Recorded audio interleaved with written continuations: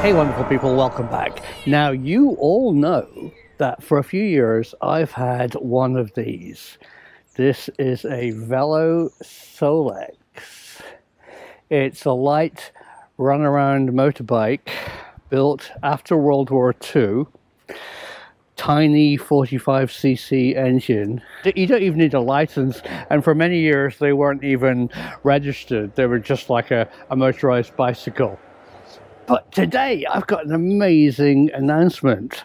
I've worked with this company who are called NOIL in French. NOIL. NOIL are based in uh, Paris area and with the French government they've electrified a motorbike. I tell you what, First of all, you have to understand why, and that was just one going past.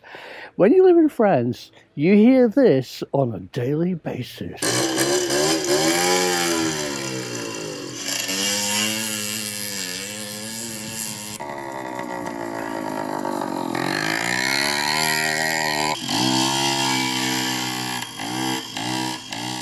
But not anymore.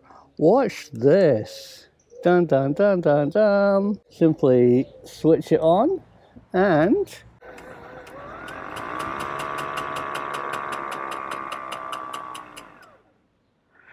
yeah an electric Solex with a bit of a um, a rubbing uh, brake that makes it go bonk bonk bonk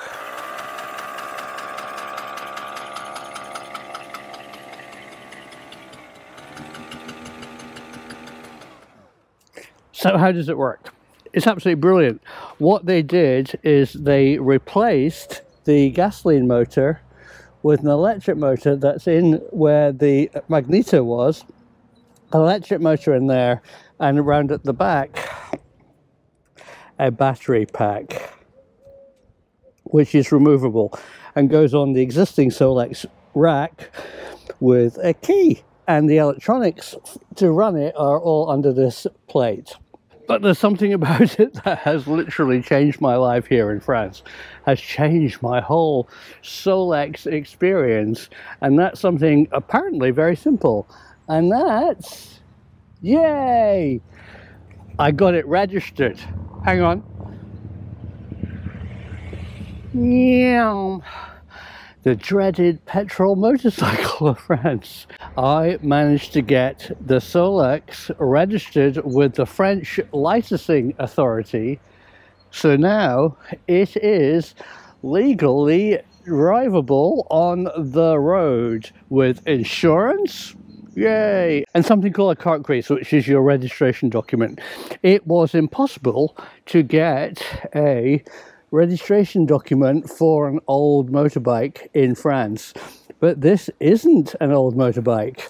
This has been reclassed as an electric bike. So how fabulous. Let's take it out on the road today and give it a spin. It is really fun.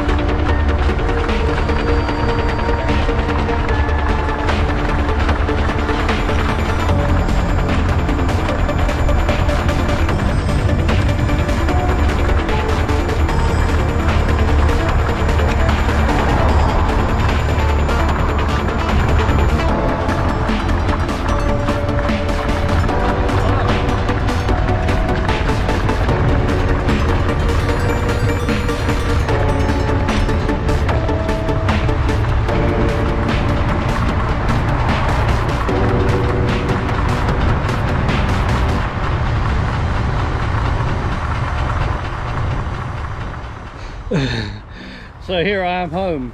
I survived another one, as they say.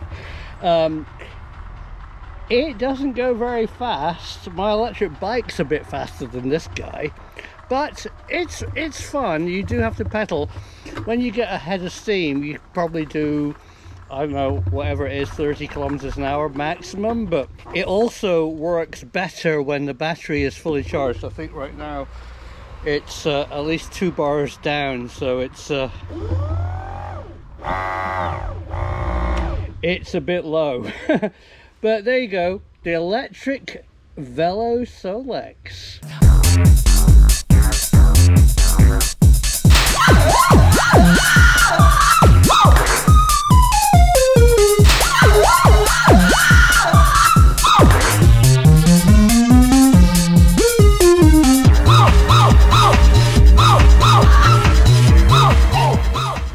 this all cost?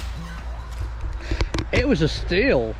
France gave me a grant of over a thousand euros to get it converted and I had to pay about 450 plus I had to make a fee to the uh, to get a registration document for the license plate so it's about 500 the only downside NOIL are a really fun company. I really support what they're doing. Well done NOIL.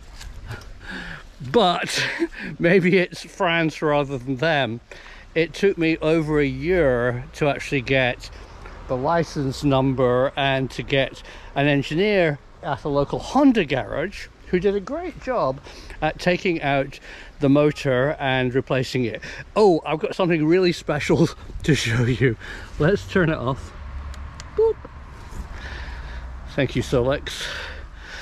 The original Solex engine you get back, or the internal parts, uh, in a box. Here's my box of bits and in here is just the most hilarious thing.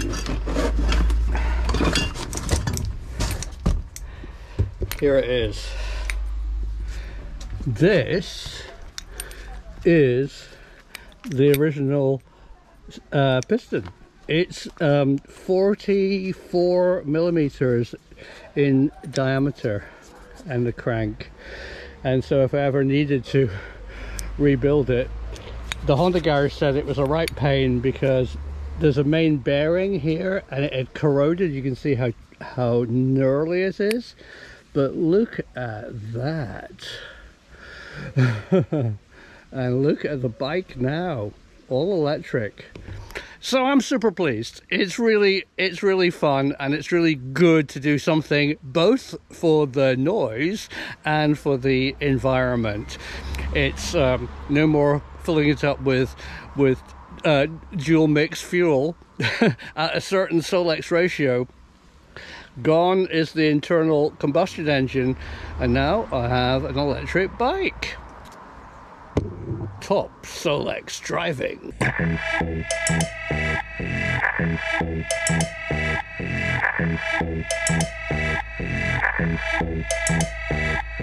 And here's a bit of Solex nostalgia.